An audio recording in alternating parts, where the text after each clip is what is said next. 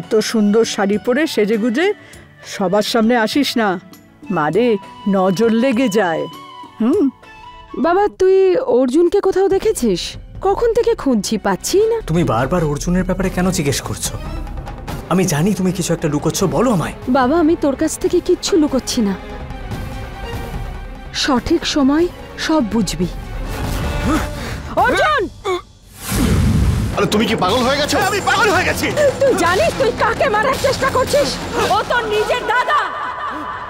পিসি তুমি এটা কি বলছো? হ্যাঁ হিতেন ও তোর নিজের ভাই।